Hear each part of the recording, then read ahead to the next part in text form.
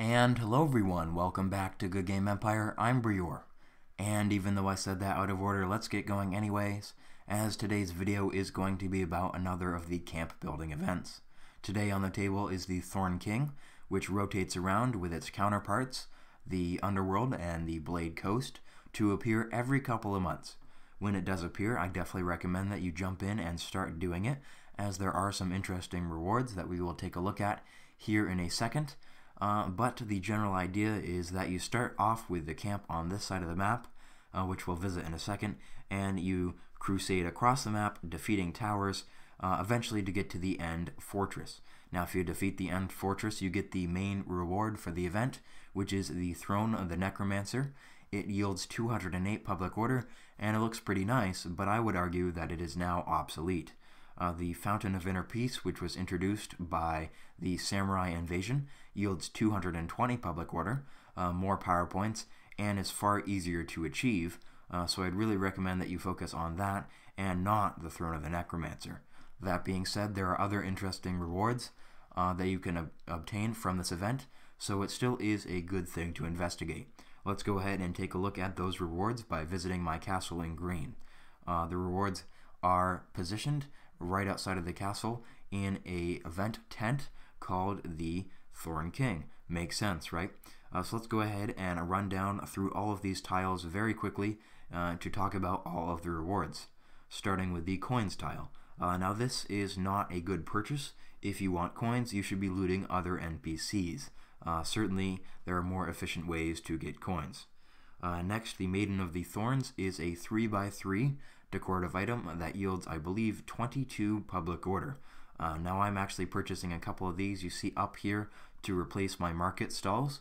I think this will help me out just a bit, uh, but certainly not too helpful, and uh, if you don't have a use for those, uh, then you will certainly know that. High-level players will be more interested in picking up one of these, or perhaps the Throne of the Necromancer, if they aren't interested in getting the Fountain of Inner Peace. Next is this haunted tree, and to be honest, I don't know how useful this one is. It depends on what footprint it has. I believe this would have to be a 4x4 or maybe even a 5x5, uh, but if it wasn't, if it was the same size as this one right here, then it would definitely be worth it. Again, I don't think that's the case. Maybe I'll do some investigation later. Uh, moving down now to the Demon Slayer and the Assassin. Now these are uh, very strong troops that have a uh, very high travel speed. This means that they will cross the map quickly, and it also means that they are great for catching other players other players uh, unguarded with their attackers. However, if you aren't a high level player, you probably won't have much use for these guys, and I recommend that you focus more on the unique equipment. So let's go ahead and take a look at that, starting with the Castellan set that is on offer from this event. It's called the Dead Man's Armor, and I do not have the full stats for the set, but I believe it would be about average. Uh, as this event was introduced a very long time ago, uh, what was good back then won't necessarily be great now. That being said, I do recommend that you work towards this set if you complete the set that I am about to show you from this event. Let's go ahead and move down the line to these two pieces here, the Thorn Armor and the Soul Catcher. Together they make the Armor of the Necromancer, a two-piece set that will give you a plus 40% combat strength bonus to your ranged attackers uh, just in having the set completed.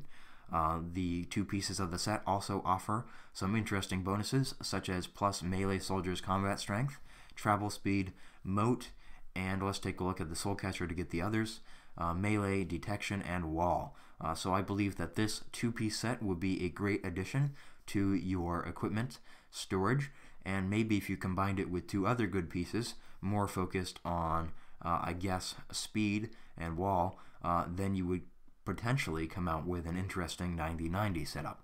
So I will actually be working towards these two pieces here, and if I'm able to obtain them this time uh, during the event, then I will certainly make a video on that. Finally, below we have the Death's Grin, which is part of another two-piece set, this one between uh, this item here and the Sea Queen Scepter, which is obtainable from the Blade Coast. Now this set is not as interesting for me because look at the set bonus. It is a reduction of cooldown time. Uh, now, while this may be helpful for some, in some small ways, it certainly isn't as interesting as plus 40% melee or plus 40% ranged. Uh, and those stats come from the two-piece set from Blade and the two-piece set that we just looked at here from the Thorn King. So again, well, I believe the, C the Sea Queen Scepter is a very interesting piece, potentially with ranged and melee. This set here doesn't provide enough bonus for this to be worth it. Anyways, let's head back up to uh, the top of this second column here. And this here is the column that shows the rewards that you can get from the Thorn Talismans. You don't have to worry about those until later in the event when you will be picking them up.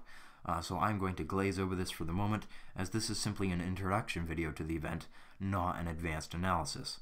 Uh, that being said, these two pieces here will complete your Dead Man's Armor Castellan set that we just looked at, so please note that if you are trying to get that set, you will need to do very well in the event to pick up these two pieces as well. Finally, uh, here we have some random gems that you can buy. Uh, perhaps if you are a very strong player and you have excelled at this event, then you would be interested in these. But if that were the case, uh, maybe I would convert my talismans back into normal talismans down here, these Thorn back into normal, to pick up Demon Slayers and Assassins. I don't know, that would be up to you. Uh, that being said, let's go back into the event and take a look at the camp. As well, it's helpful to know what rewards we can get. It's even better to know how we can get them. Uh, so this camp here is what you will be building throughout the event, and there are three major types of things to construct. Let's start with the supply storehouse. Now this works in a way similarly to the storehouse in the kingdoms. However, you need to build multiple of them, and they each control how many resources you store. They each upgrade it by, let's see if it says, I believe about 7,000 apiece. 7,500 uh, apiece. Uh, that's for wood, stone, and food, not just one. Uh, so that being said, you do not produce wood and stone in this event, which means you need to transfer your resources in in order to keep up with construction. You do uh, loot a few resources from attacking the towers and the resource villages, which we will get to in a second, but again, you will need to port resources in to keep up with your construction, especially at the start of the event. That means that you do not have to have a storage capacity of 81,000. You rather need to have a storage capacity of about 33,000 uh, because when you ship resources in from fire or ice or sands or wherever, uh, some resources will be lost during transit. A shipment of 81,000 resources will be whittled down to 24,000 by the time it gets to this event. So again, this is plenty of room for me, and I think it will be plenty of room for you as well. Taking a look at food now, you can see that we do produce a little bit, but you will probably be need to cart, uh, you'll probably need to be carting in food as well to this event. Uh, now let's move on to these small tents here, which dictate how many soldiers you can store. Uh, right now my storage capacity is being exceeded by the number of troops I actually have, and how I'm doing that, how I'm doing that is as follows. I am completing the quests, and many of the quests give out rewards of troops. Let me see if I can find one that does just that. Here it is. Uh, in completing this quest, you would get uh, approximately 90, actually exactly 90 troops, and they will be added to your total troops in this kingdom regardless of what your soldier capacity is. So that's very nice, and it could be a shortcut for you in terms of defeating uh, these towers and conquering the event, uh, in which you do not have to build uh, a whole lot of small tents. That being said, if you starve your troops for whatever reason, uh, probably by accident, which is easier uh, to do than you might think, as this event doesn't pop up in your castle list, which is normally over here, or does it? Uh, it could well, uh, but it doesn't at least pop up in your barracks and your hospital lists because you cannot build a barracks and a hospital here, so it's easier to miss than you might think. Uh, but again, upgrading tents will increase your soldier capacity and it will reduce your morale. Morale is what determines how strong your troops in this event are, and it's controlled primarily by the drill grounds. Uh, there are other buildings that you can construct to improve your morale, but I really recommend that you go with the drill grounds because they are built using resources and they will take up less space than the banners. As you can see, I have built many, many drill grounds and I used skips to do so. Uh, let's go ahead and walk you through the process of building another. It really couldn't be easier. You come over to decorative items here, you grab the drill ground, you drag it over to the spot, and you plop it down. Uh, then, if you are so inclined, you could use a skip to do uh, to complete the construction of this drill ground, but I'm not going to do that today as I have run out of uh, one hour uh, 30 minute and 10 minute skips, so that's not a very good place to be in. Uh, anyways, that covers the construction for this event. I would recommend that you bring your morale up to about 180% before you start hammering on the towers, uh, but that's what we're going to do now. We're going to start hammering on the towers. So in order to do that, let's return to the world map. And it looks a little bit different than the world map for green, that's for sure. Once again, you start at this end and you run across the map, liberating territories. The territories I have liberated in this event so far are the ones that have green grass, and the ones that I will be working on in the future are the ones that have gray, muddy grass, or maybe not even grass at all. Again, if you get to the end here, to the Necromancer's Castle, you will win the event and collect the reward. Uh, so let's talk about the things that you need to do in order to attack the towers. Well, first, you need to get to them. Uh, I can't attack this tower here uh, because I haven't gotten to it yet. I need to clear out this tower or this tower and probably, uh, actually it doesn't look like there's a bridge there, so I might be okay. Uh, but if there was a bridge there, then I need to repair it using resources. You can repair bridges by clicking on them and donating resources. I don't believe I have enough stone at the moment, so I won't be doing that. Uh, but I will be repairing this bridge here and showing you guys how to attack towers by clicking on this one and launching an attack. But first, let's take a look at a resource village, as believe it or not, resource villages are even more important than towers in this event. Uh, ideally, you would definitely get to the end of the map, uh, but perhaps only to unlock the higher level resource villages. The resource villages are what you will be using to collect talismans for the rewards that we just looked at. Let's go ahead and attack a level 1 resource village. Uh, no risk in doing so, probably not too exciting either, but if you keep up on hitting these smaller resource villages, uh, the numbers do add up over time, and you will probably be put in a pretty good position. I'm going to go ahead and fill in with more troops than are necessary for the sole purpose of making sure that I can collect all of the resources and bring them all home.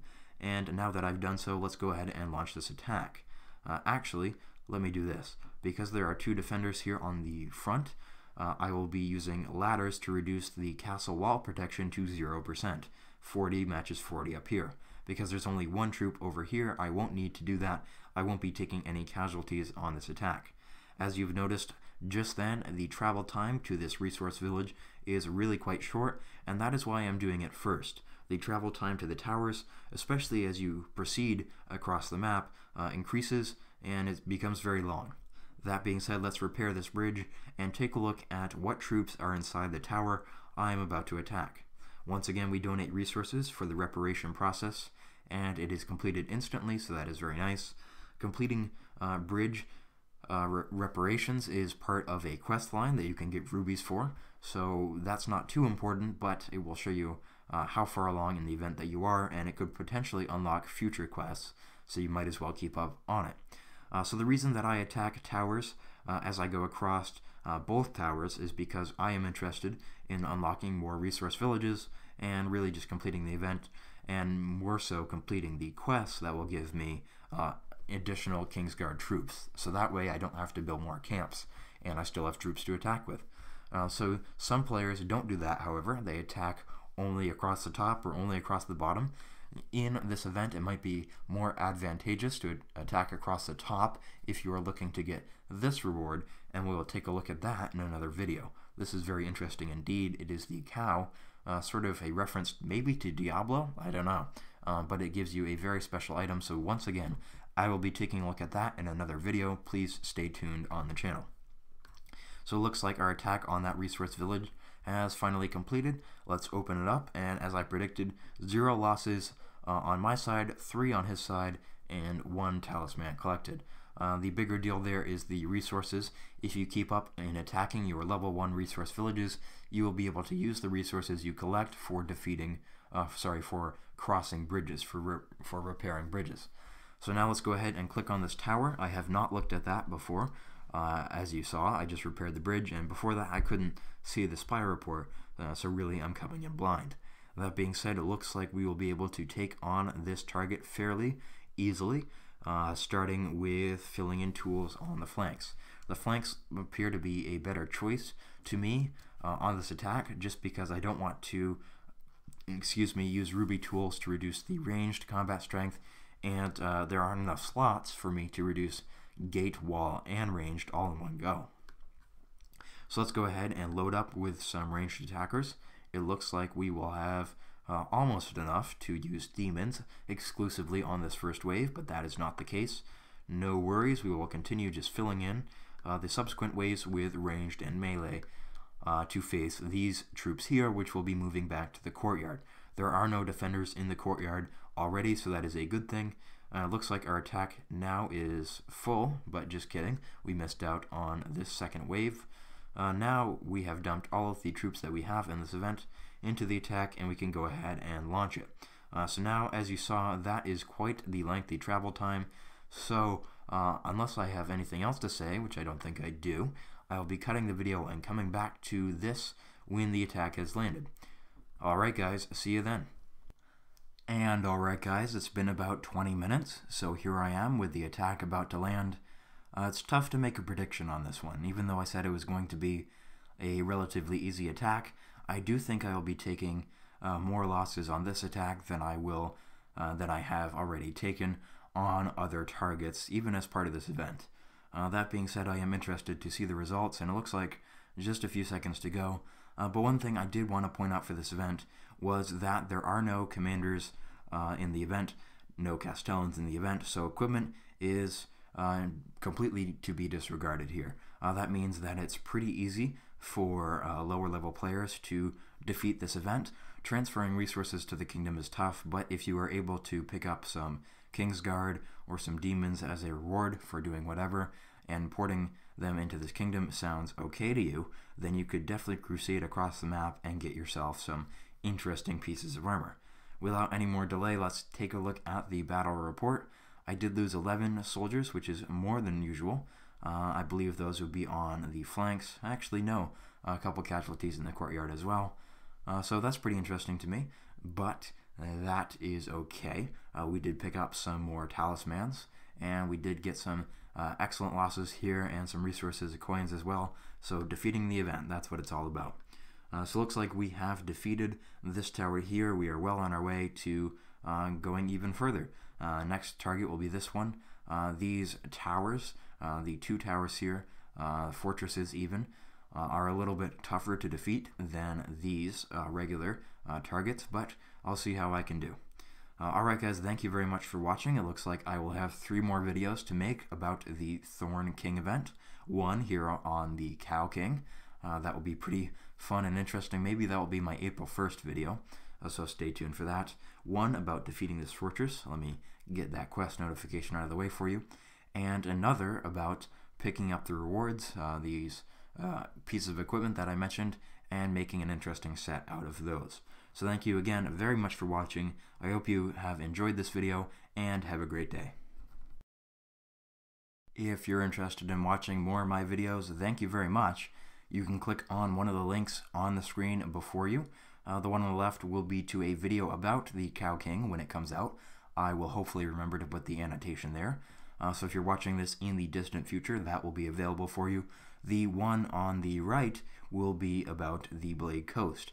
Uh, similar topic, uh, just different appearance and a different theme. So if you didn't feel like you got all of the information you needed from this video,